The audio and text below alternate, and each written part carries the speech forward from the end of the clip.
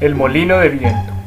Posición en cuyo movimiento la mujer gira alrededor de su pareja usando el miembro como un eje. Primera etapa. La mujer está agachada o arrodillada sobre su pareja. Ella puede empezar la estimulación por un movimiento de vaivén vertical sobre el segunda etapa. La mujer bascula sus dos piernas a la derecha del busto de su pareja y empieza a dar vueltas. Tercera etapa. La mujer se encuentra en posición inversa, de espaldas a su pareja, y puede continuar la estimulación vertical agachándose hacia adelante para cambiar el ángulo de guagua.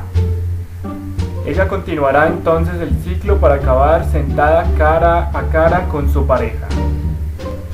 Lo bueno es una posición graciosa y original que permite experimentar sensaciones muy diferentes sin interrumpir la guagua. Lo malo existe un riesgo importante de la salida involuntaria entre la segunda y la tercera etapa. La gran apertura.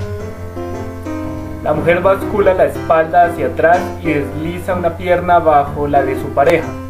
En el transcurso de la maniobra, ella tendrá cuidado de sostener el bien apretado en su guagua guagua para evitar cualquier salida involuntaria. Ella podrá entonces ir y venir de forma transversal de izquierda a derecha para experimentar sensaciones nuevas. Lo bueno, una posición original que resulta ser cómoda para la pareja. Lo malo, riesgo de salida involuntaria durante el balanceo y amplitud de movimiento un poco limitada. La posición de la amazona.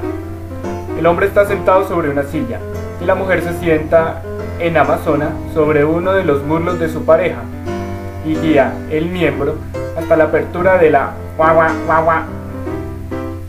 Una vez el miembro introducido, ella podrá contraer sus músculos guagua guagua para guardarla y evitar las salidas inapropiadas.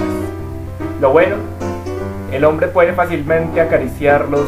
Uh de su pareja para llevarla más fácil al ah, mm. Posición recomendada a los hombres que sufren de eyaculación precoz.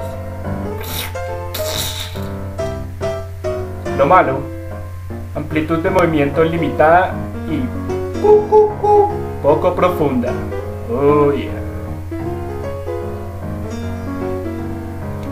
Y esto fue todo. Gracias por la participación del conejo y el oso de Hard Rock. Hasta una próxima ocasión.